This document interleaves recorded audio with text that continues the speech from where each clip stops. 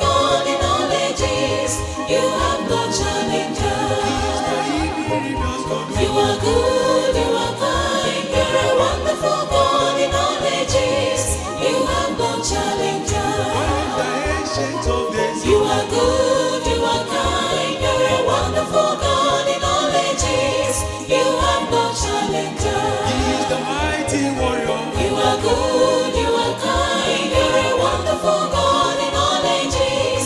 You have no challenger. He is the mighty warrior. You are good, you are kind, you're a wonderful God in all ages. You have no challenger. And you are good, you are kind, you're a wonderful God in all ages. You have no challenger.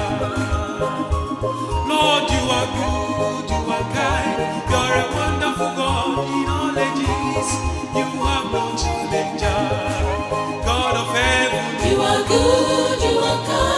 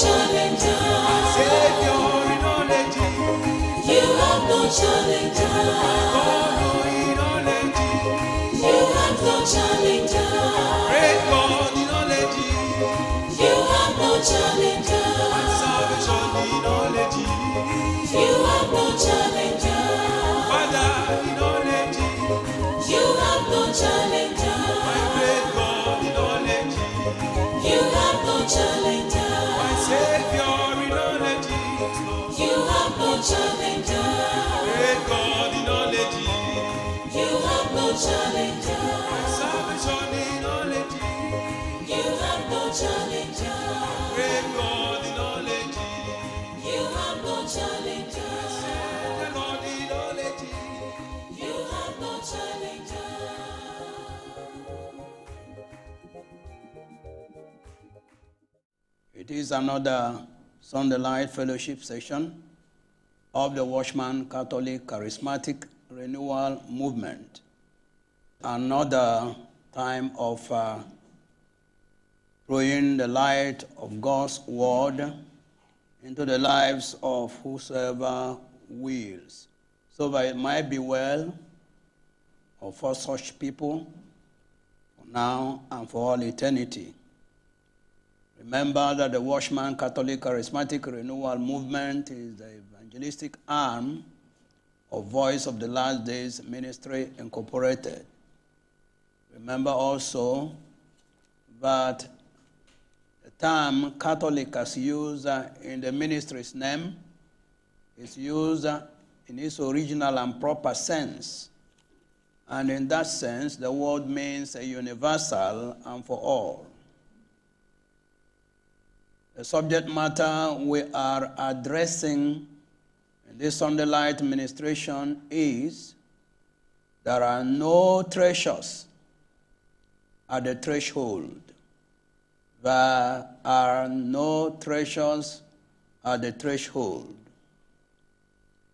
This subject matter is considered very uh, salient at this point in time because the Lord will have all who have been participating in this uh, very insightful ongoing broadcasts to benefit maximally from what they are hearing.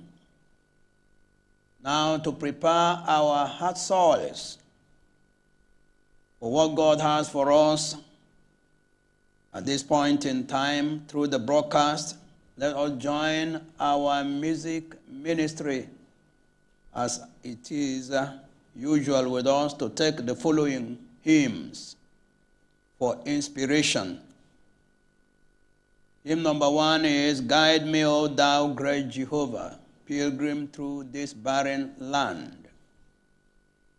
That hymn is found in number 131 if you have the Watchman hymnal.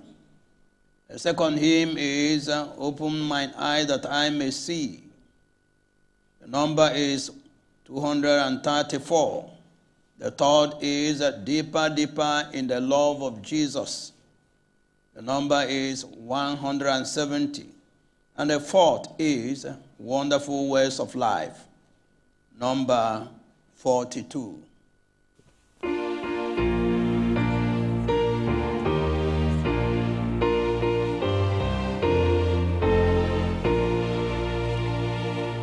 Guide oh, pilgrim through this barren land. I am weak, but thou art mighty. Hold me with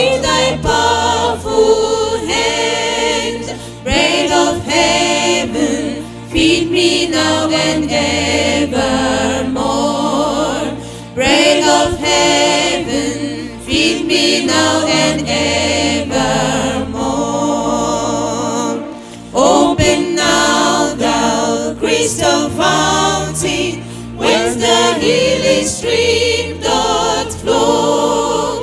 Let the fairy cloudy pillar lead me on my journey through. Strong deliverer, be thou still my strength and shield. Strong deliverer, be thou still my strength and shield. I tread the verge of Jordan, bid my anxious fears subside. Bear me through the swelling torrent, land me safe on Canaan's side. Songs of praises I will ever give to thee. Songs of I will never give to thee. Savior, come, we long to see thee, long to dwell with thee above, and to know in full communion all the sweetness of thy love. Come, Lord Jesus, take thy waiting people home. Come, Lord Jesus, take thy waiting people home. Open mine eyes that I may see.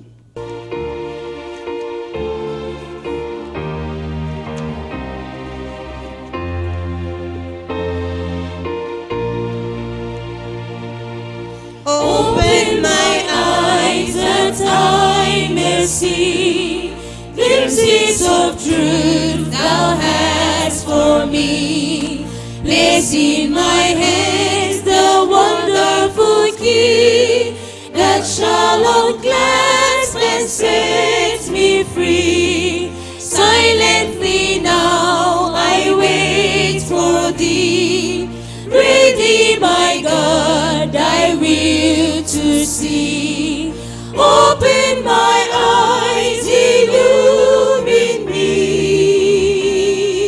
Spirit divine, open my ears that I may hear voices of truth thou sendest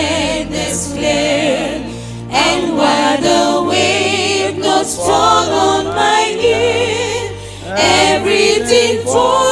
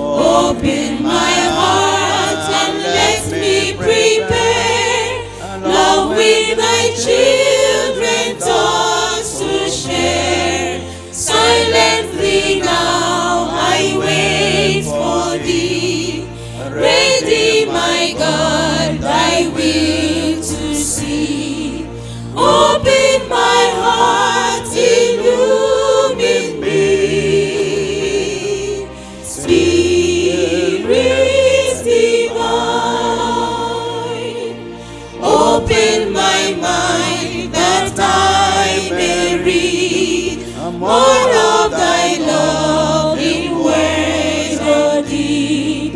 What shall I fear? Why yet thou dost lead?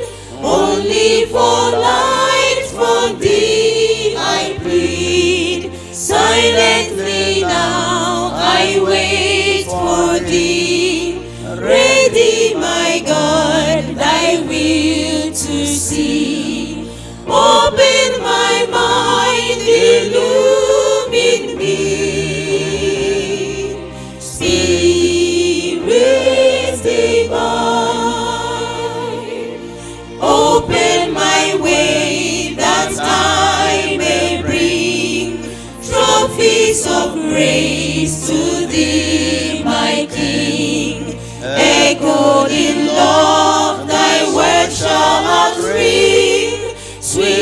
the notes that angels sing. Silently now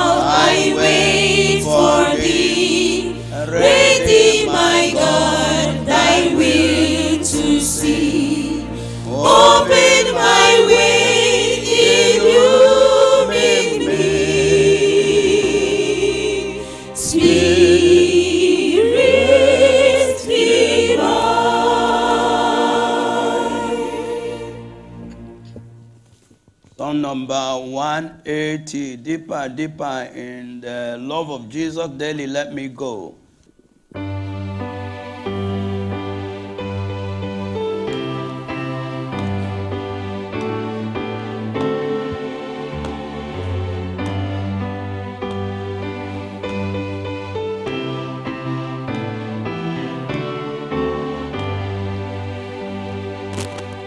Deeper, deeper in the love of Jesus, daily let me go.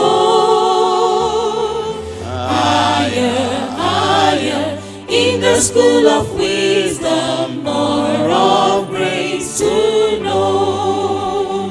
Oh, deeper yet I pray,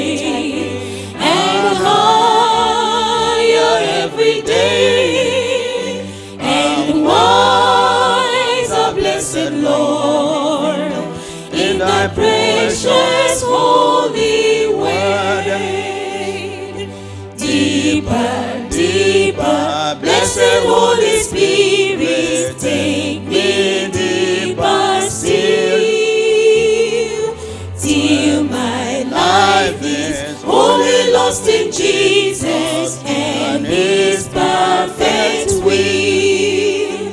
Oh, deeper yet I pray,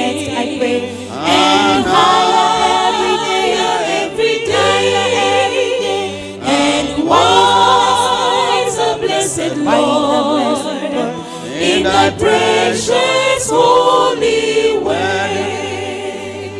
And Deeper, deeper, though it cause our trials, deeper let me go. Rooted in the holy love of Jesus, let me fruitful grow.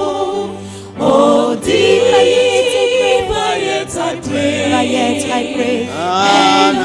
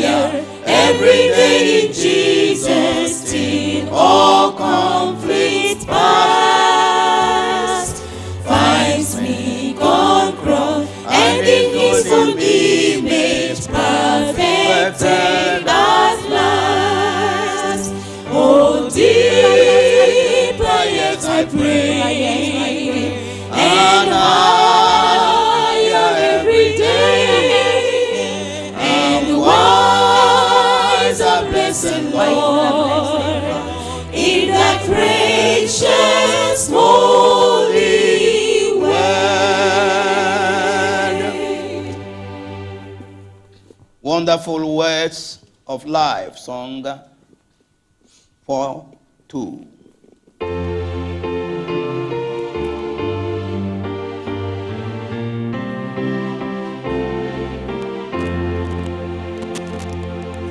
Sing them over again to me, wonderful ways of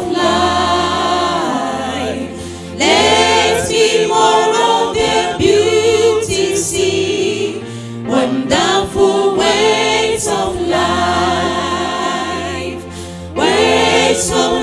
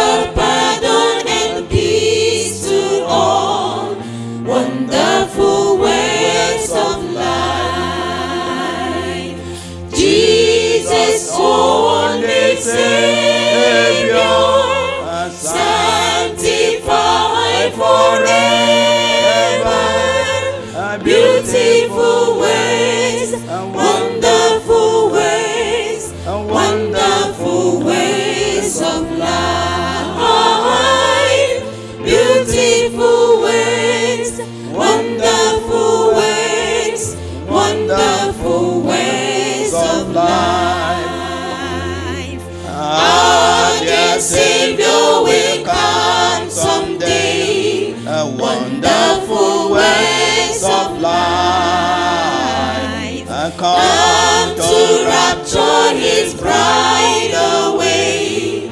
Wonderful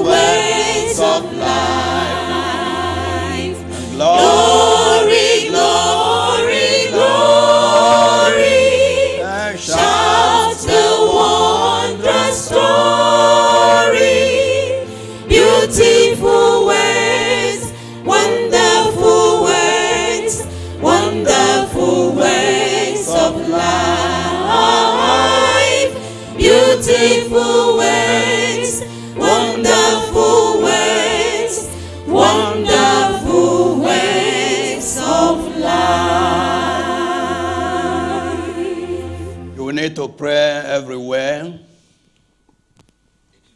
in line with uh, the song. Let the beautiful words be spoken unto us and unto everyone, that we may benefit and be the better, and be the better, and be the better, and be the best for what we hear. It is your prerogative to talk to the Lord in prayer, wherever you find yourself. Eternal Father, thank you very much another opportunity to hear your word. I bless your name because there is not any creature, as we often say, and as written in the scripture, that is not manifest in your sight. All things are naked and opened unto the eyes of him with whom we have to do. Praise your name, precious Lord, because uh, of the subject matter we have at hand. And I know that you are the one that gave it by your Spirit.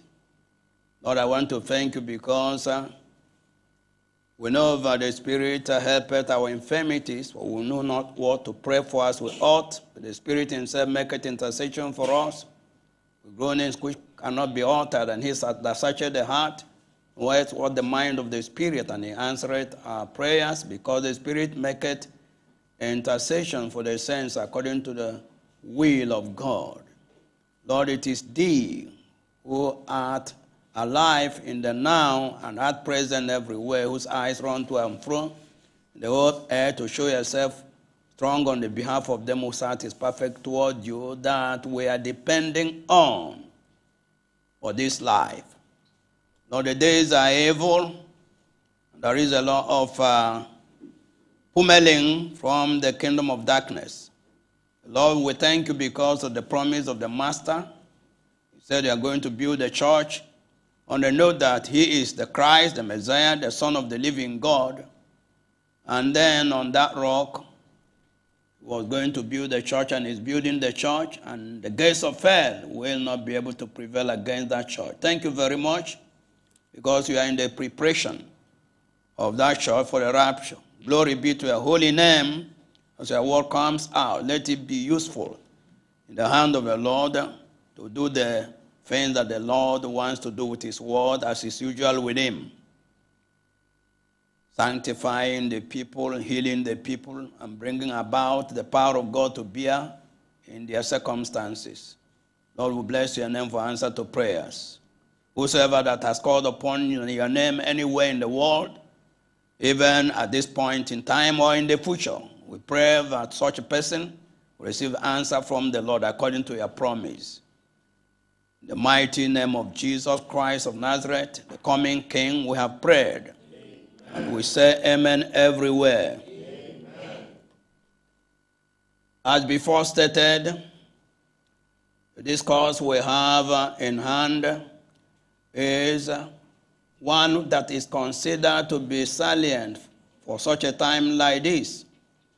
The reason is this over the period we have uh, had uh, very insightful uh, messages from the Lord. Messages during our charismatic hour, such as uh, necessities laid upon God to fulfill all his obligation that he owes his children. Messages such like uh, it's not a big deal for God to do what you are asking at his hand to do. And then we have had uh, Sunday night teachings uh, talk about uh, the words of God, past and present, and the one that have uh, talked about the attributes of God and the way they work in the circumstances of men. And then there are all other insightful messages. Remember the series in the book of Psalms. And the last one in the Psalms is titled uh, uh, Calmness in the Face of Trouble and then Confession of Faith, part two of that uh, study in the face of trouble. And I thank God for what is dishing out. But then we are branching, like we have mentioned, to this message that says there are no treasures at the threshold because God would have every person to maximally benefit from all that He has been dishing out to us. Now, there are no treasures at the threshold. And uh, in this uh, message, I'm going to define treasure. That's point number one. Point number two, we're going to define the threshold. Point number three, we're going to define treasure in the context of the message. That is, uh, what do treasures mean as far as this uh, message is concerned? And then we also look at threshold in the context of the discourse. Then finally, we're going to look at the fact that there are no treasures at the threshold. At the end of the day, we'll say a word or two to the youth that are in the church and that are outside the church. And then we'll draw the curtain. Treasure defined. The word treasure among the Hebrews signifies anything collected together. In other words, provisions or stores of that thing, anything collected together. Now, treasure could be a collection of corn, a collection of wine, a collection of oil, a collection of honey, as we have in Jeremiah chapter 41. Jeremiah chapter 41, I'm reading from verse 6. And Ishmael, the son of uh, went forth from Mizpah to meet them, weeping all along as he went. And it came to pass, as he met them, he said unto them, Come to Gedaliah, the son of Ahikam. And it was so when they came into the midst of the city, that Ishmael, the son of Nethaniah, slew them and cast them into the midst of the pit, he and the men that were with him. But ten men were found among them that said unto Ishmael, Slay us not, for we have treasures in the field of wheat, a collection, heaps of uh, wheat and of barley and of oil and of honey. And because of that, he spared them. The point we are taking is that treasure could be a collection of wheat or corn or wine or oil or honey. Treasure also could be a collection of gold, silver, brass, as we have in Ezekiel chapter 28. Ezekiel chapter 28, we're reading verses 1 to 4. The word of the Lord came again unto me, saying, Son of man, say unto the prince of Tyrus, Thus said the Lord God, because thine heart is lifted up. Thou hast said, I am a God. I sit in the seat of God in the midst of the seas, yet thou art a man, and uh, not God. Those thou set thine heart as the heart of God. This is talking about the judgment that God brought upon Tyrus. And then, verse 3 Behold, thou art wiser than Daniel. There is no secret that they can hide from thee. With thy wisdom and with thy understanding, thou hast gotten thee riches, hast gotten gold and silver into thy treasures. Gold and silver, when they are brought together in a storehouse, you could refer to them as uh, treasures. And then it could also be a collection of gift items. Let's see that in Matthew chapter 2, the wise men that came to pay respect unto the child that has been born, the Lord Jesus Christ. This is what was stated concerning them. In Matthew chapter 2, we're reading from verse 1. Now, when Jesus was born in Bethlehem of Judea, in the days of Herod the king, behold, there came wise men from the east of Jerusalem, saying, Where is he that is born king of the Jews? For we have seen his star in the east, and are come to worship him. When Herod the king had heard these things, he was troubled, and all Jerusalem with him.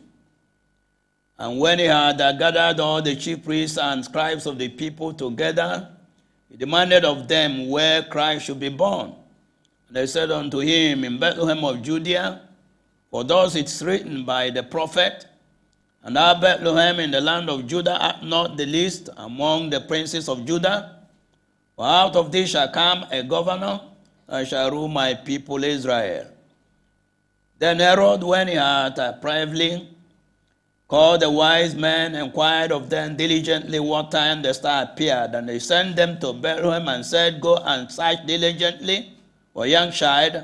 When you have found him, bring me word again, that I may come and worship him also. Verse 11. And when they were come into the house, they saw the young child with Mary his mother, and fell down and worshipped him. And when they had opened their treasures, their boxes of gift items, They presented unto him gifts, gold and frankincense and myrrh. So treasure could be box of uh, gift items, as we see in that place. Treasure also could mean very important or hallowed things that are stored or preserved carefully. Look at Ezra chapter 5. There is from verse uh, 15 and said unto him, Take these verses, go carry them into the temple that is in Jerusalem, and let the house of God be builded in his place. Then came the same Sheshbazzar and laid the foundation of the house of God, which is in Jerusalem. And since that time, even until now, had it been in building, and yet it's not finished. Now, therefore, verse 17, if it seem good to the king, let there be such made in the king's treasure house. The place of important and hallowed things or documents that are stored or preserved carefully, which is there at Babylon, whether it be so that a decree was made of Cyrus, he came to build this house of God at Jerusalem. And let the king send his pleasure to us concerning this matter. That is that about uh, treasure as is used in the Bible. Now, that is uh, physical things we're talking about. Now, let's go to look at uh, threshold. Remember that what we are talking about is that there are no treasures at the threshold. And I've defined treasures used in the Bible, various aspects of treasure. These are physical treasures we are talking about. Now, the threshold literally is the floor or ground at the bottom of a doorway. If you come to where you are staying, whether it is a bungalow, and then there is the doorway that leads you into that house. Or you are living in an apartment, block of those apartments, and you are living in one of the apartments. Now the threshold is at the door that leads you into that apartment. Now, that door or that part of that house is not inside. It is just at the beginning, at the place where the door is. That is the threshold. The threshold can also be those steps that you take to come to the door. Now, let's see an example of a threshold, and that is in 1 Samuel. We're reading the fifth chapter. First Samuel chapter 5. It was a case when the Philistines had captured the Ark of the Covenant and carried it to the house of their god Dagon. And this is what happened. First Samuel chapter 5, reading verse 4. And when they arose early on the morrow morning, behold, Dagon was fallen upon his face to the ground before the ark of the Lord. And the head of Dagon and both the palms of his hands were cut off upon the threshold. Only the stump of Dagon was left to him. On the doorway, just at the entrance there, that's at the threshold. And um, verse 5 Therefore, neither the priest of Dagon nor any that come into Dagon's house tread on the threshold of Dagon in Ashdod unto this day. The steps that lead to that platform or to that place where their God was domiciled.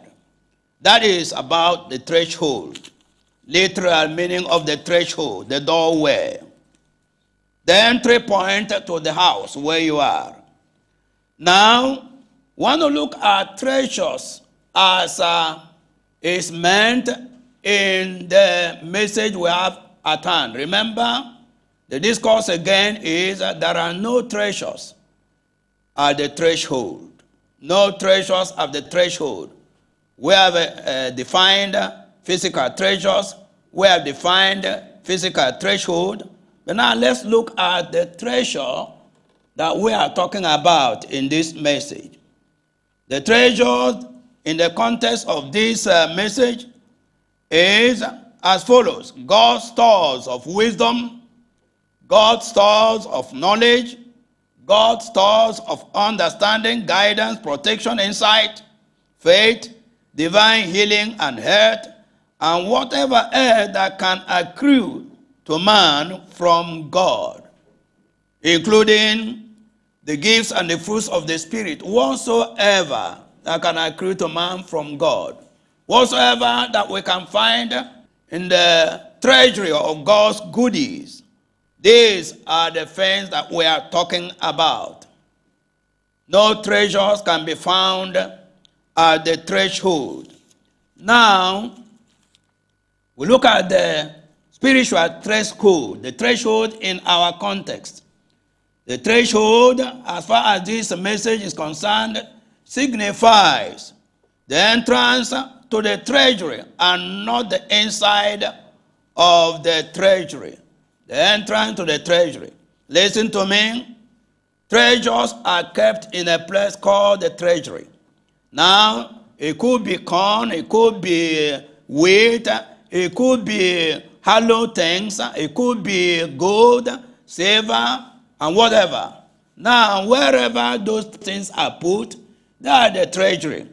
Now, if it is money, for instance, the tithe that I paid and the priest paid their own tithe after the tithe they received, now all of them are put in the treasury, in the house of the Lord. And the treasury is inside the house. Treasures are usually inside the house. And therefore, there are no treasures that you can find outside the house. And uh, now we want to draw these inferences. Treasures cannot be found outside the treasury, cannot be found at the threshold. Now, what are the inferences that we are drawing? And why are we drawing the inferences? We are drawing this inference because, as I've told you, we have insightful messages all this while, and we continue to have. But you know what? Those messages are meant to build the people. Those messages are meant to do exactly what God intends that they should do in the lives of the people. Every person, there are those that need salvation. Those messages show the year salvation. There are those that need sanctification. Those messages to yield sanctification. There are those that need healing. There are those that need any aspect of the goodies of the Almighty God, the protection of the Lord, and what have you. Those pieces of information that every one of us is hearing at every point in time, whether it is during the charismatic hour session or the Bible study session or the Sunday light like this. They are meant to yield those dividends. And God will have the people to have those dividends, to have them to enjoy. They are not being stated for stating sake. I've often told you that we are not stating fanciful things. But we are stating the things are real. The very mind of God. So, it means that if you are seeking baptism with the Holy Spirit, if you are seeking sanctification, if you are seeking that the Lord should heal you physically, heal you, heal your mind, heal you emotionally, if you are seeking that the Lord should grant you one favor or another, if you are seeking that He should uh, give you the boldness of the lion of the tribe of Judah, if you are seeking that he should remove fear from you, if you are seeking that he should remove one thing or the other that is disturbing you, if you are seeking that the Lord should free you from demonic possession or oppression, God is willing and is bringing about mechanisms to make these things come to pass in your interest. But you know what? He is wanting to tell us that part of the reason why people are not getting what they should get is that they are wanting to get treasures from the threshold. But there is no such thing. The treasures are not at the threshold. Now you're asking me, what do you just mean? Treasures are not in, at the threshold. Of course, that's what I just mean. They are not at the threshold. And then what does it imply? It looks like an idiom, but what does it imply? Implies that if you don't come diligently, if you don't come steadily, diligently, on and on and on, and come to develop the kind of relationship that you should develop with God, then you may not be able to get what you are looking for. It is not a casual matter. The Lord does not want any casual anything. Now, I want to go read some scripture that show that treasures are not at the threshold. If you are wanting that the Lord should do anything, any of the things that were mentioned or any of the things that were not mentioned, but there are promises of God, standing provision. There are too numerous to mention. Then you must get into the treasury. You must get inside, not outside. You cannot afford not to get inside. You can't stand by the sidelines and expect to get it. You cannot sit on the fence and expect to get it. May I read you some scriptures to prove my point. I'm reading from Jeremiah chapter 29. Let's read from verse 10. For thus said the Lord, that after 70 years be accomplished at Babylon, I will visit you and perform my good word toward you in causing you to return to this place. For I know the thoughts that I think toward you, said the Lord, thoughts of peace and not of evil to give you an expected end. Then shall he call upon me, and he shall go and pray unto me, and I will hearken unto you. And ye shall seek me and find me. When ye shall search for me with all your hearts. Remember that in the day of Daniel, Daniel was reading the writing, the scrolls, and then came across this point that was made, and then began to pray and fast. And then an angel was sent to him to answer him on the matter. He sought and fasted and prayed, telling us that if he shrugged his shoulder, if he didn't want to know, he will not know. If you don't want to know, you will not know. If you don't want to seek, you will not find. If you don't want to knock and continue knocking, it will not be opened unto you. That's the principle of God. If you seek, you will find. If you ask, you will receive. If you knock, it will be opened unto you. And if it has not been opened unto you, keep knocking and keep seeking and keep asking. That is the rule. You don't withdraw. There is nothing like casualness in the matter of following God. There are no treasures at the threshold. The treasures are in the treasury. The treasures of the Lord, the spiritual treasures, are in his house proper, in the sanctuary, in the treasury. No wonder we are told to come to the throne of grace by faith. No wonder we are told to come to the throne of grace. Come there to plead your case by faith. And so we find that this is what was uh, uh, stated by the Lord Himself. And then in Deuteronomy, Deuteronomy chapter 4 and verse 29. But if from thence ye shall seek the Lord thy God, thou shalt find him, if thou seek him with all thy heart and with all thy soul. There are those that they begin to seek, and they seek for one day, for one week, for one month, and they have not found, and they become discouraged, and they get tired, not knowing or not remembering that the Lord Jesus Christ had drawn a parable in Luke chapter 18 and said, men ought always to pray and not to be discouraged, and not to faint, and not to stop, and not to be wearied. Men ought always to pray and not to faint. Now they are praying, and then they pray a little, pray for two weeks fast, and then nothing happened, and then they stop and they get discouraged. No, this is not the way it is. The way it is is that you enter, and as you are remaining in His presence, as you are tarrying in His presence, and you are praying, and you are even fasting, listen to me. At a point in time, you will develop such a relationship. At a point in time, the faith will brew inside your heart, and you will not have any doubt as to the existence of God. It, awareness will brew and grow inside you. There will be no doubt as to whether there is heaven, as to whether there is hell, as to whether there is life after death.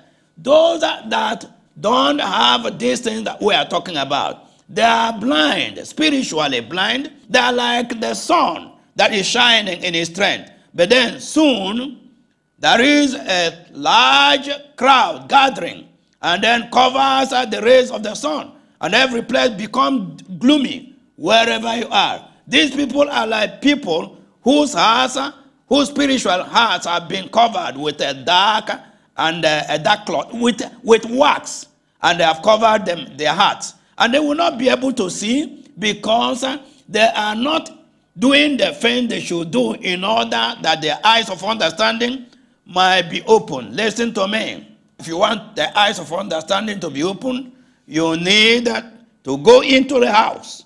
You need to go into the treasure house of the Lord. That is where to find the treasures. That's where to partake of the treasure. Listen to me. Partaking of the treasures can be likened to tapping. Tapping from the water mains.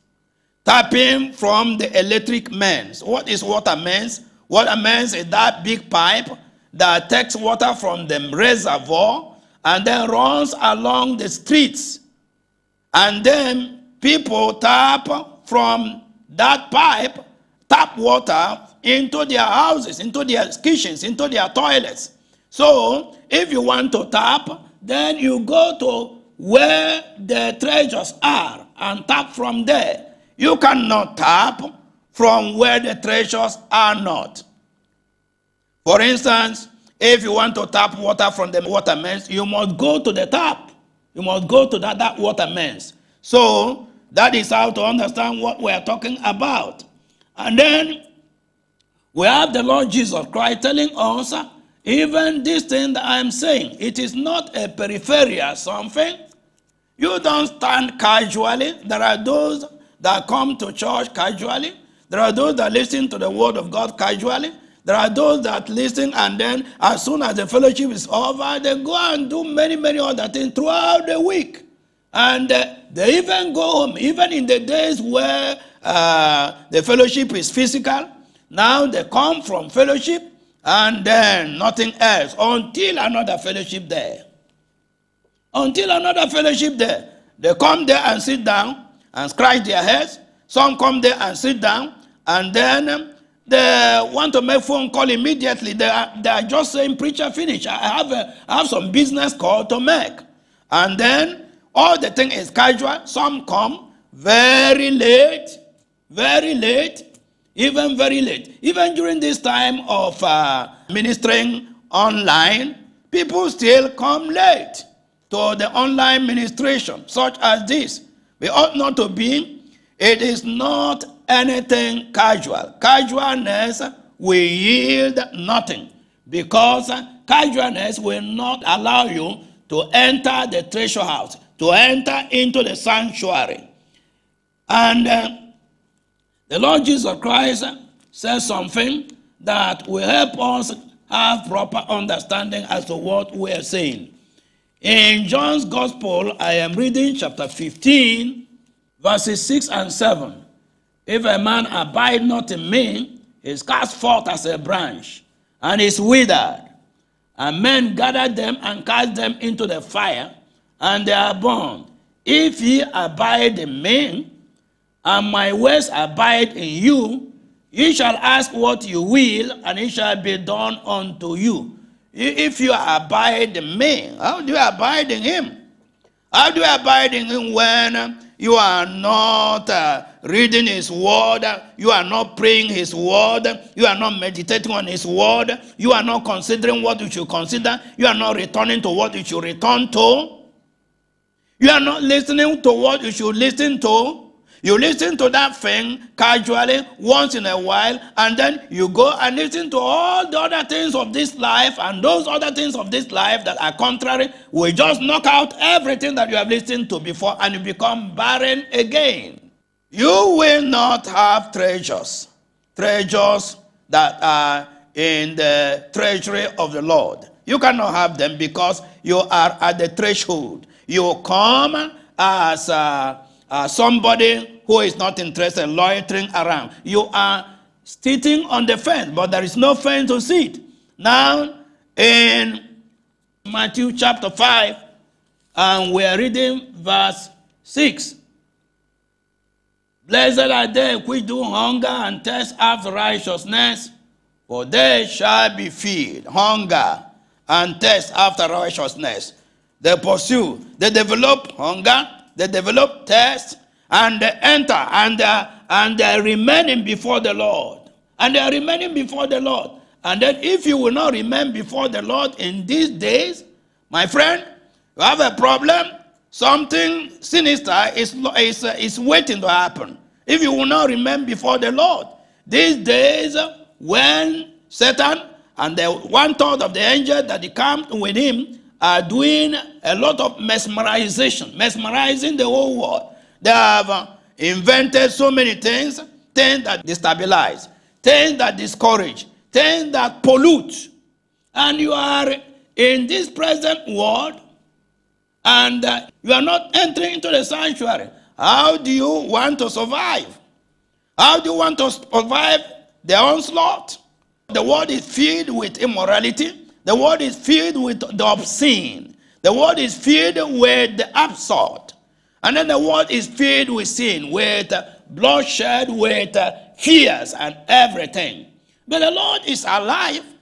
But the Lord is alive and in his treasures, in his sanctuary, are filled with treasures, with whatsoever that you need. I tell you the truth, I lie not.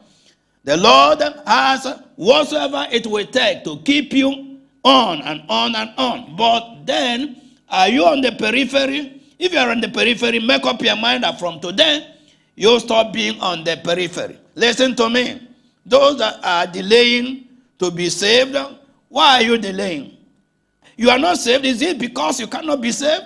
Is it because the Lord does not want you to be saved? Those that, that have not been sanctified is because you didn't bother.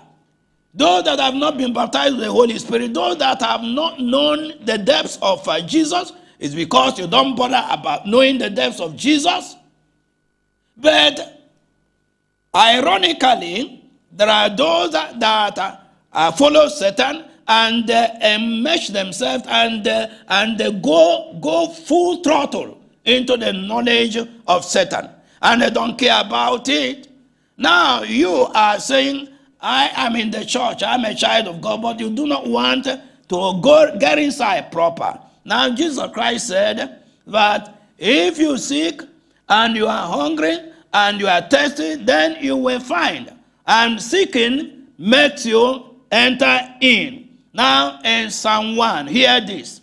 Psalm 1, the very Psalm 1. We're reading from verse 1. Blessed is the man that walketh not in the counsel of the ungodly, nor standeth in the way of sinners, nor sitteth in the seat of the scornful. But his delight is in the law of the Lord, and in his law doth he meditate day and night. That is it. That is how to get into the storehouse, into the sanctuary, into the treasure, into the treasure house, into the treasury.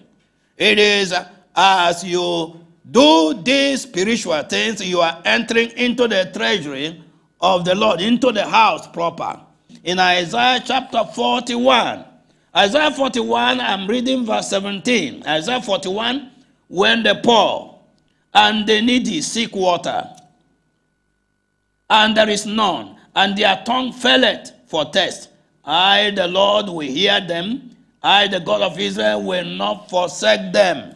When they are parched, when they are seeking, when they are thirsty. Now it makes them to draw near. Have you not known how that he said, Draw nigh unto me, and I will draw nigh unto thee? You draw away from him, he draws away from you. You honor him, he honors you. This is the rule of the Lord. There are no treasures at the threshold, meaning there are not going to be any things for anybody that is at the threshold, that is uh, loitering around the church. Youth, listen to that. Young person, listen to that. Adult, listen to that. Pastor, listen to that. Now, many people are backsliding over the years. Passage of time have made people to backslide. Now they were zealous. Now they were zealous. They were evangelistic. They were all the time, day in, day out. They come from Bible study. They come from Sunday light. They come from uh, church and they fall on their faces. They come from work and they fall on their faces and they are praying and praying. And then they review the thing they had even in the last retreat. And they're reviewing and they are praying. Now you are saying, is it necessary? It is very necessary. That's what brought those of us that are standing to where we are. And if we are going to still stand, we will continue to enter, to enter and enter and enter until until uh, we will have uh, gotten everything that we need to get from the treasury of the Lord. And then it will no more be a difficult thing for us uh, to overcome what we should overcome. That's that. Now, it says, when their hearts are searching and searching and searching, he will answer them. So then I enjoin you to do what? To, from today, begin to say, no more casualness, no more fire brigade approach in seeking the Lord, in praying. If you are not tired talking, why should you be tired talking to the Lord? If you are not tired eating, why should you be tired eating the word? If you are not tired seeking, seeking this and seeking that, seeking the material things, seeking the mundane things, seeking education, seeking knowledge, seeking whatever you are seeking, those things you are seeking legitimate, and some people are seeking illegitimate things. If you are not tired seeking legitimate things, and some are seeking illegitimate things, why should you be tired seeking the thing that will guarantee eternity with Jesus Christ? Listen to this. Eternity is near. Eternity is near. Eternity is near. So, get to the sanctuary, get to the treasure house, and uh, get the things that you should get from there because uh, the things that are there cannot be brought outside. In Psalm 91, Many people read this psalm and they read it superficially. They do not know what it means, what it's talking about. Let's read Psalm 91. You read it, but do you know what you are reading? What is he saying? From verse 1 He that dwelleth in the secret place of the Most High shall abide under the shadow of the Almighty. He that dwelleth in the secret place of the Most High. Where is the secret place of the Most High? The secret place of the Most High is uh, that place that is far inside, inside his house. Inside his house, he that dwelleth in the secret place of the Most High shall abide under the shadow of the Almighty, under the shadow of protection of the Almighty. Secret place of the Most High. Listen to me. Now, if you get in and then and go in and go in, and the Lord now vests with you faith, immeasurable faith, then you are abiding in the secret place of the Most High. Why some people are shouting and then shouting for defeat, you are shouting for mastery. That is what it is. He that dwelleth in the secret place of the Most High shall abide under the shadow of the Almighty. I will say of the Lord is my refuge and my fortress, my God. In, in him will I trust. Surely he shall deliver thee from the snare of the fowler and from the noisome pestilence. He shall cover thee with his feathers, and under his wings shalt thou trust. His truth shall be thy shield and buckler. Thou shalt not be afraid for the terror by night, nor for the arrow that flieth by day, nor for the pestilence that walketh in darkness, nor for the destruction that wasteth at noonday. For this to be your experience, you must have been somebody who had entered the treasury in order to get all the things that you need to get from the house of the Lord. Let me tell you again the reason for this discourse there are no treasures at the threshold is as follows we have with us fantastic things insightful pieces of information from time to time we have begun a charismatic hour session that is titled what's the big deal it's not a big deal and i thank god for those that have embraced it and more of it is coming it's not a big deal now, but if you don't get anything, it is because uh, you are not doing what you should do. When you listen to it, you become excited, but then did you go back to it to think about it? Is this really a big deal? What has God done in times past? What is He capable of doing?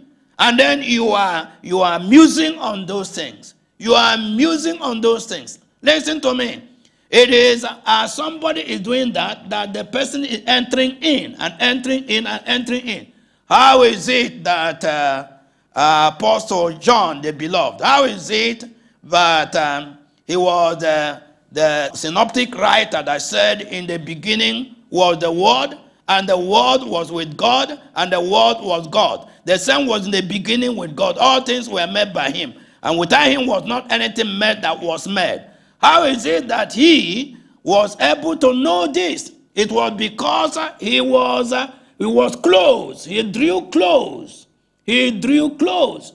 And so the Holy Spirit made him to have uh, revelation information that some of the other people didn't have. He drew close. Remember the time when Jesus Christ had spoken and said, when they were gathered, one of you is going to betray me, be the enemy. And then they asked John to ask him, and this John was leaning on his breast. This John was leaning on him, lying on his breast as a child. How do you attend to Jesus? How do you see him? You see him as the savior of the world, and that's the end. And then you do not want to develop a, a close relationship. How will you now get what you should get? There are no treasures at the threshold. If you refuse to do the thing that you should do, if you refuse to draw near like those people drew near, how would you get what those people got? If he gives you what he gave to those people, you become an unjust God. But God is full of justice. It is what you merit that he gives to you. If you merit Esther, he gives you Esther. He will not give you B. And if you merit B, he will not give you Esther. Because if he does that, that is injustice. So then, from this hour, you know that the things that you have heard in times past, go back to them, and the things that you're going to hear in the future. As you come to fellowship, don't come to fellowship to waste your time. Don't come to fellowship to pass time. It's not a, time to just uh, loiter around and then uh, see some people and then wait for the end and then to begin to, to begin to do uh, so many things, so many mundane things that you have been doing over the period. I didn't say you don't go to do the things that you, you need to do to make a living, but I'm telling you that if you engage yourself in those things 24 7, then you will be barren. And you don't engage in the things that you should engage in, you remain barren. And then you will not have what you should have. Bottom line, no treasures at the threshold. enter the treasury. Enter the treasury. Anyone that is there, and then meanwhile you are neither here nor there. The Lord does not want that. You know what He wants? He wants that you are either completely out or you are completely in. That is desire. He doesn't want you to be neither here nor there. You are either completely out so that He will know that you are out, or you are completely in. The Lord Jesus Christ said, If you love me partially, if you have regard for yourself, for your mother, for your father, for anything more than me, you're not my disciple. You say, Is he saying the same thing today? Yes, sir. Yes, ma. Yes, ma. He's saying the same thing today. So, you owe yourself the prerogative to do what? To enter even the treasury and then get the treasures that are there. They are waiting for you.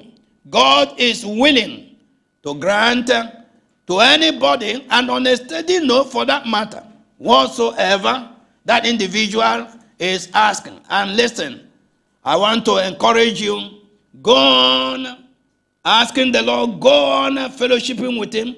You have known about uh, ministering unto the Lord, pondering anew what the Lord can do. We are expected to take note of those things and do them because we are doing some uh, natural things, some mundane things, some necessary mundane things. We are doing them.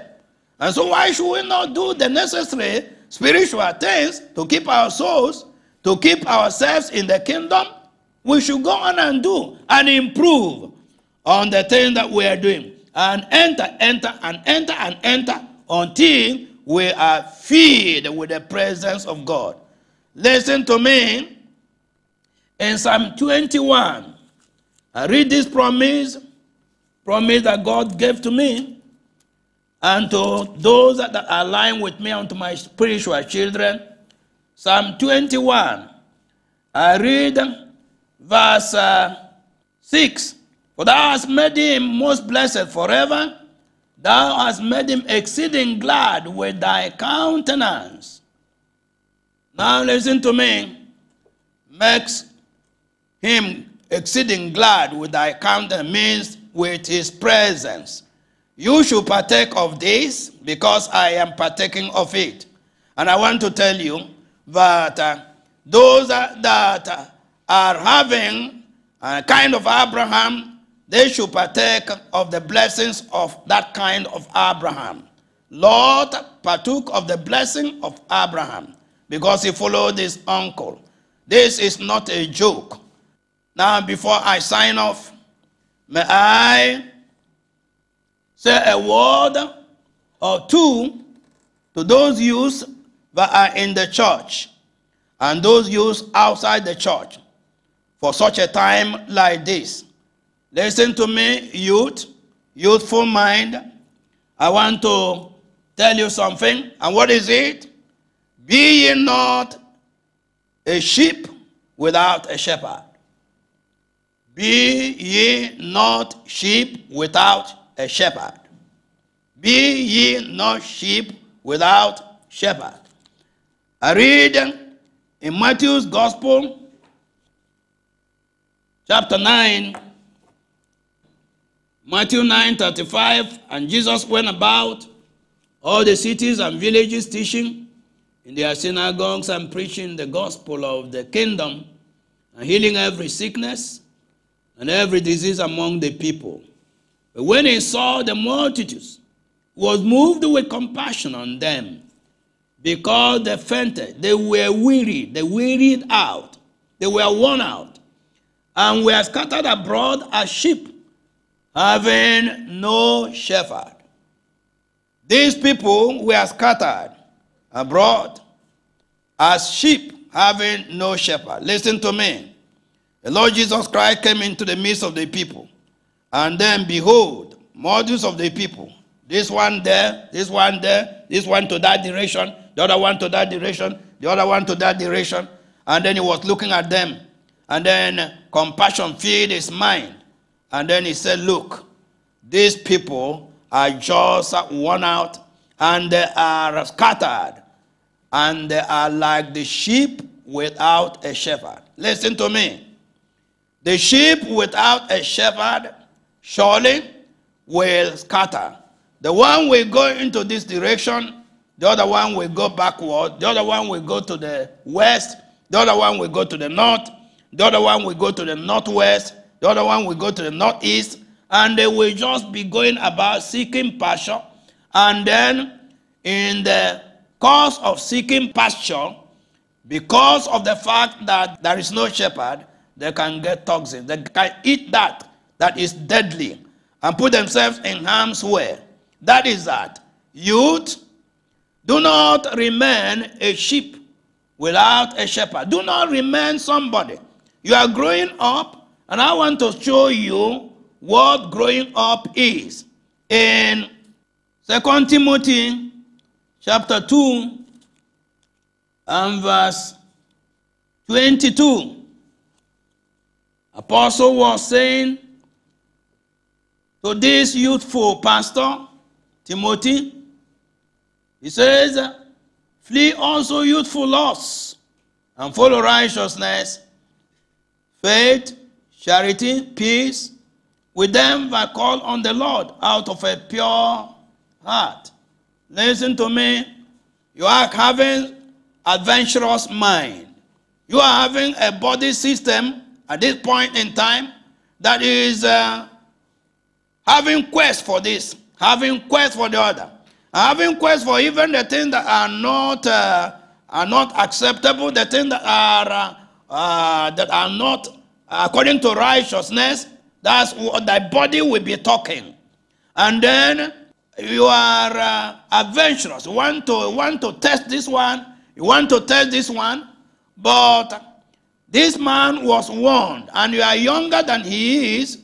And if a, somebody that is older than you was warned, somebody that is a little older than you, a youth was warned, he said, Flee youthful lust, flee. Follow righteousness. You need to flee yourself.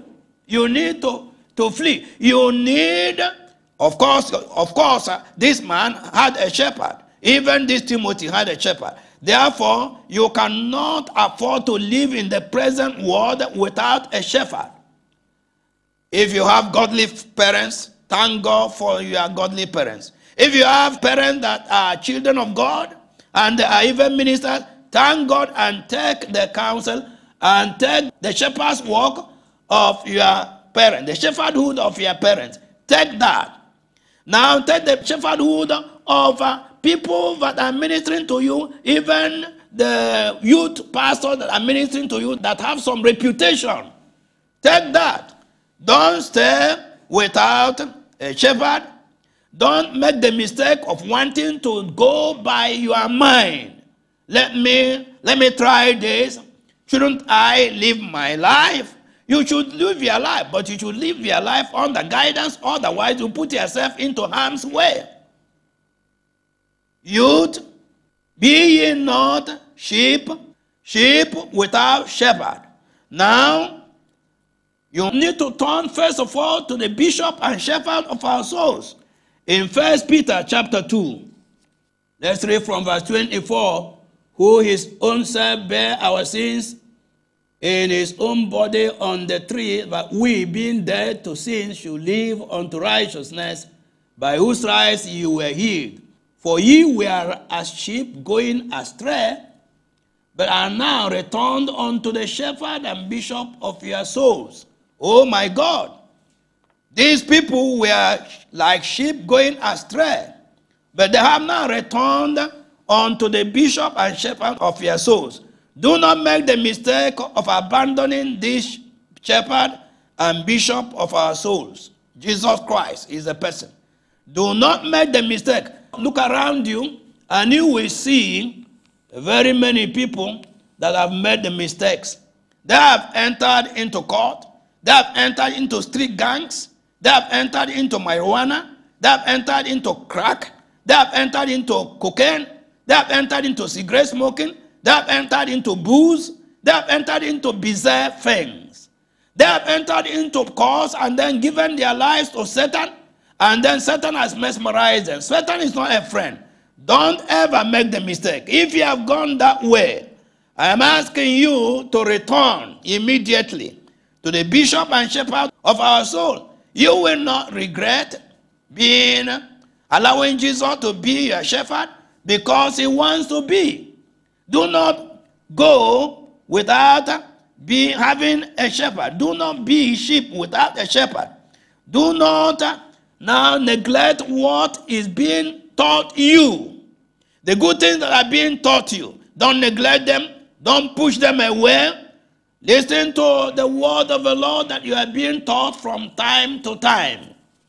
Give your life to Jesus Christ of Nazareth. If you are in the primary school or secondary school or university, now make friend with the people of God as you go there. Do not make the mistake of having no shepherd. Now listen to me. I show you how that if anybody refuses the shepherd, he will pay the price. In Proverbs chapter 2, from verse 1, My son, thou wilt receive my words and hide my commandments with thee, so that thou incline thy ear unto wisdom and apply thy heart unto understanding. Yea, if thou criest after knowledge and liftest up thy voice for understanding, if thou seekest her as silver and searchest for her as for hid treasures, then shalt thou understand the fear of the Lord and find the knowledge of God. Now, verse uh, 10 When wisdom entereth into thine heart and knowledge is pleasant unto thy soul, discretion shall preserve thee, understanding shall keep thee, to deliver thee. Listen, what you are hearing right now is the words of wisdom. And then he said, if you receive this word and say to yourself, I cannot afford to live in this life without a shepherd.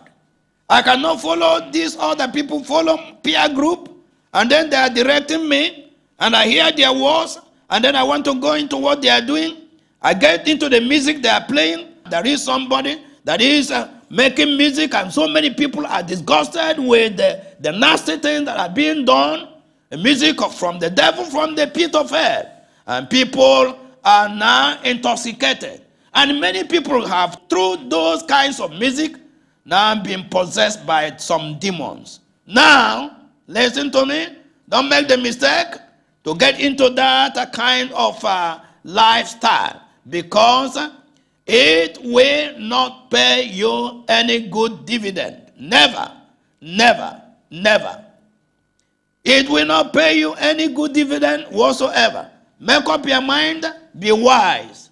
Be wise in receiving what you are hearing.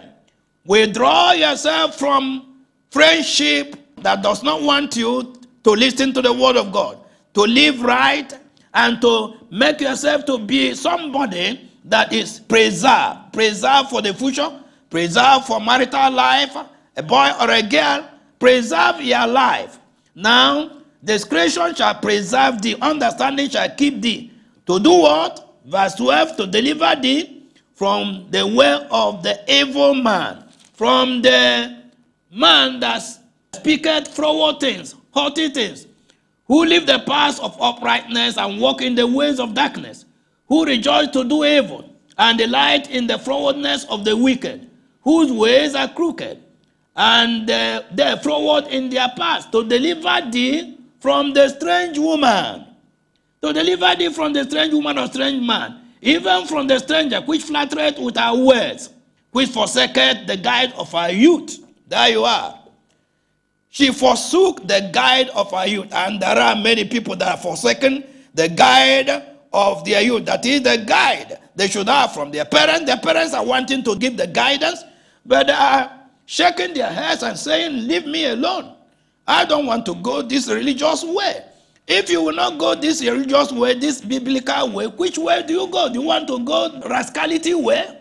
You refuse the, the kind of thing that you are hearing. You want to remain in this world, then you are exposing yourself unto the unto the terror of the wicked one. Remember that the devils are there monitoring every person. You are hearing this word even from the man of God. And you are being told not to make the mistake of forsaking the guide of your youth and forgetting the covenant of your God. Listen to me. Those that are there, and you've been given a well thought out name, the name they gave you when you were born, because your parents are children of God, they gave you a well thought out name, and God gave you the name. But let me ask you is the name that was given to you reflecting in your life, or is it ironically another thing that is reflecting in your life? Are you given to be James and then you are a Judas? Are you given to be Ruth and then there is no diligence in you at all? Are you given to be Esther, but then there is nothing Estheric in your life? Are you given to be Deborah and then but uh, the Bible is nauseating to you? Deborah was a woman of God. Remember that when the Lord uh, and uh, called on for somebody, a man, and then the person said, If the Deborah would not go with me to the war, I will not go. And the Deborah said, I go. My friend, life is short. You may be saying, Oh, leave me to live my life. I somebody said, somebody said, some woman said unto her pastor, some lady said to her pastor, Pastor, leave me alone. I have not I have not enjoyed my youth. And then went out from the church to enjoy her youth and got smitten by Satan. Don't do that. Leave me alone. Leave me alone? No. Leave me alone? No. Now, verse 17 again, we forsake the guide of our youth. Don't forsake the guide of your youth. This is what the Lord is bidding me to say to the youth that are there. And I pray that the Lord of Sabaoth, who spirit is in the word that has been spoken, will help you that these words be received. What are you waiting for? Why should you not turn to Jesus? When you see that many are turning to Satan, turn to Jesus. You will not regret turning to Jesus. So, use and, uh, and the young people that are in church and outside the church, quit following Satan, make a turnaround, 180 degrees turnaround even this day. And when you do, the Lord will receive you and your future will be guaranteed. I wish I knew the Lord when I sought him in 1953 when I was only nine years old. That was when I sought him with weeping. But there was nothing like being born again at that time. There was nothing like Bible at that time. And so nobody could help me into the experience I wanted to have. But later on, God saw my desire and gave me the experience at the age of 30. And listen to me, at the age of 76, I don't have any regrets at all.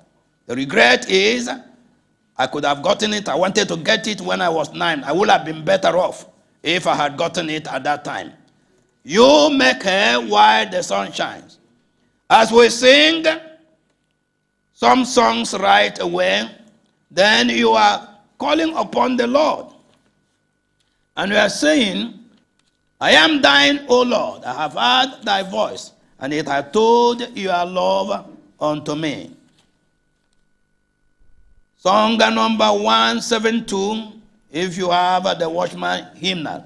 I am thine, O Lord. I have heard thy voice, and it told thy love to me. But I long to rise in the arms of faith and be closer drawn unto thee.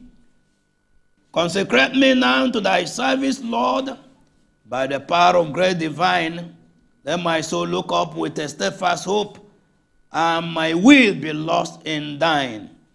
Oh, the pure delight of a single hour that before thy throne I spend. When I kneel in prayer and with thee, my God, I commune as friend with friend.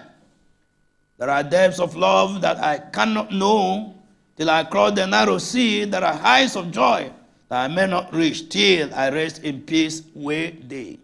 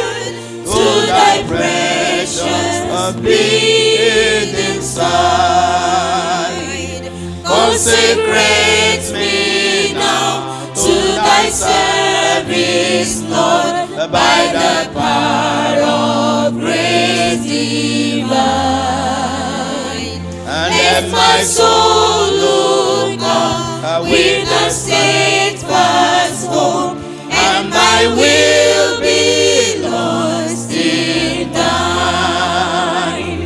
Draw me nearer, nearer, blessed Lord, to the cross where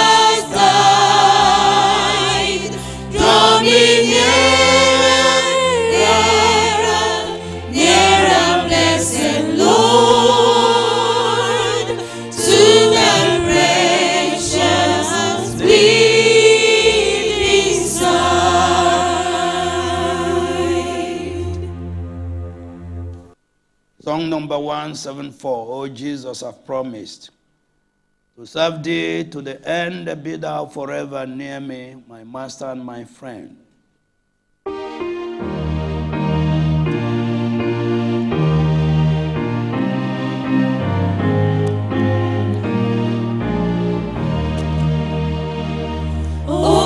Jesus, I have promised to serve thee to the end. Be thou forever near.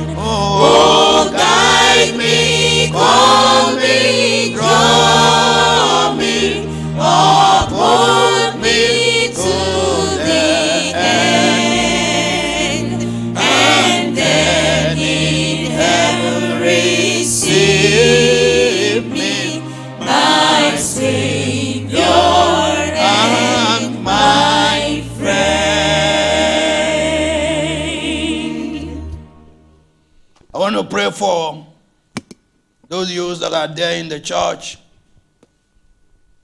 at this moment in time and all those that are outside who are listening to what the Lord is saying to them. These are the days that are evil. And the devil has uh, done a lot of havoc unto the young people. Somebody had made a comment and said, social media will destroy, will kill this generation. And they are posting and listening and shouting and doing those things. And their minds are overcome. And some have had the Satan, the sons of Belial. Even the spiritual entities jump into them as a result of those things that they are enjoying. But I know that the Lord of Sabaoth is working on the other hand. You have heard that God has not ceded the word to Satan and cannot see the word to Satan. For every one angel of Satan, God has uh, two angels. I want to encourage you to fall on your face wherever you are. And then say, Lord, life is tough. But Jesus Christ being on my side, I shall not have any cause to withdraw. I cannot have any cause to, to be discouraged because He's everything to me. Jesus Christ can be anything to thee. Remember that of old he said, Let the little children come unto me, for of them are the kingdom of God. God is interested in you. And men of God, the real men of God, are interested. We're praying for you. I pray for you right now. Eternal Father, that liveth in heaven, that dwelleth in the place of power between the cherubims and the seraphim. Heaven and earth are full of your glory. Blessed is he that came in the name of the Lord, even Jesus Christ of Nazareth, the coming King. Lord, I want to thank you because you know all the people that are out there have viewed or have connected onto this broadcast or that will yet connect. And you know the youth among them, the youngsters, the young minds, are living in this bad day. Precious Father, I thank you because uh, there is no big deal in you saving and keeping a young person, man and woman. There is no big deal in you making champions out of them. Eternal Father in glory, there is no big deal you making even Joseph's and making Daniel's out of the people. I bless your holy name. We're not talking fanciful things. We're saying the things that God will want us to say. And I know that God is at work. For Jesus Christ has said, My Father worketh hitherto, and I walk. Now, I see them in the places where they are, eternal rock of ages. And as they raise their hands unto the Lord of Sabaoth, and they fall upon their faces, and they are saying, Lord, deliver me and keep me. And I saying, Lord, I don't want to go in the wrong way. I don't want to regret. I don't want to miss the guide of my youth. Eternal Father, I don't want to live in this life without a shepherd. Because uh, the lion and the bear is out there. It was because David was by the sheep. That was the reason the lion and the bear could not take the lamb. If David was not there, those lambs will have gone and gone forever. In the same way, Lord, there is a bishop and shepherd of our souls. His name is Jesus. And there is a host of other people that the Lord has given in the church, taking care of these youths. I pray, great Father in heaven, let your spirit that is hovering wherever everybody is right now, permeating to them, great Father in heaven, arrest those that should be arrested and bring them down to the cross of Calvary. In the name of Jesus Christ. Thank you very much, Lord, because I know that somebody will give a testimony. Not one person, not 10 persons, not 20 persons, but multitudes of people giving testimony of what happened in the day and they listened on to this brief exhortation. I praise your holy name because I know you've answered. Glory be to the Father, and to the Son, and to the Holy Spirit. In Jesus Christ's name, I have prayed. And let the people say, Amen, everywhere.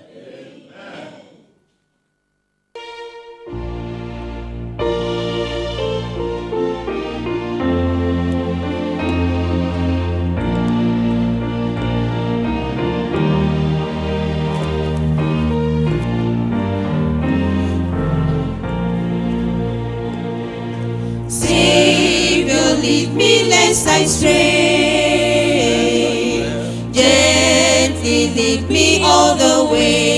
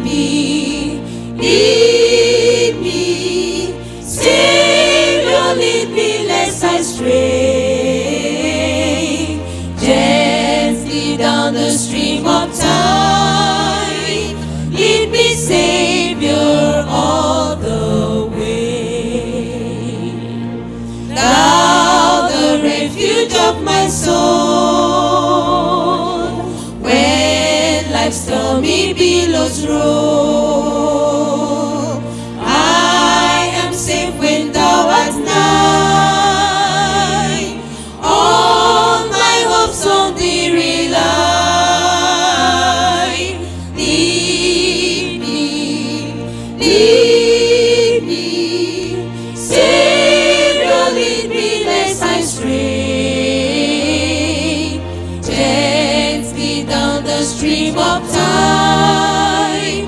Lead me safe.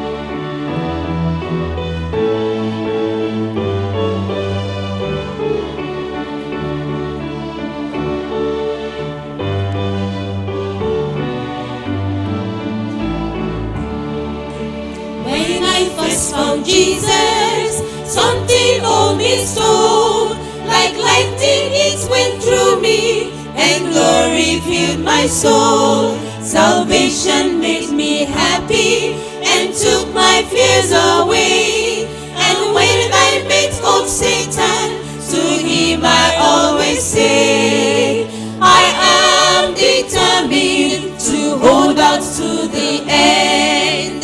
Jesus is with me, on him I can depend. And I know I have salvation, for I feel it in my soul.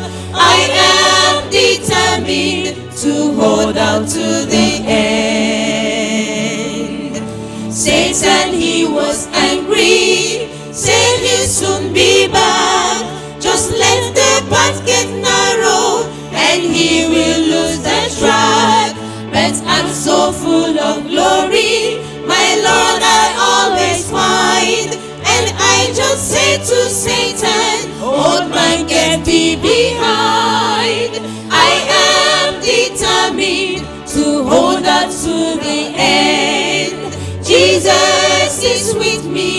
On him I can depend. And I know I have salvation, for I feel it in my soul. I am determined to hold out to the end.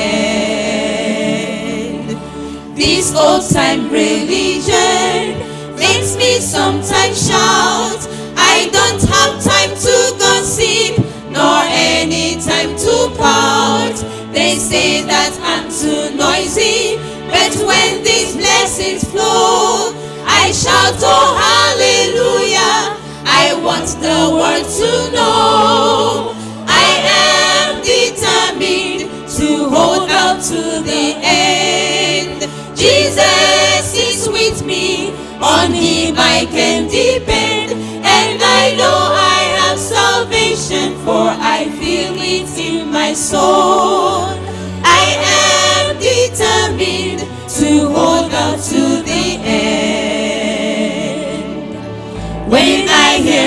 Trumpets sounding in the sky and see the mountains trembling, to heaven I will fly. For Jesus will be calling, there'll be no time to mend. With joy I'll go up singing, I'm held out to the end. I am determined to hold out to is with me, on him I can depend, and I know I have salvation, for I feel it in my soul. I am determined to hold out to the end. I am determined to hold out to the end. Jesus is with me, on him I can depend, and I know I feel it in my soul. I am determined to hold out to the end. I am determined to hold out to the end. Jesus is with me, on him I can depend, and I know I have salvation, for I feel it in my soul.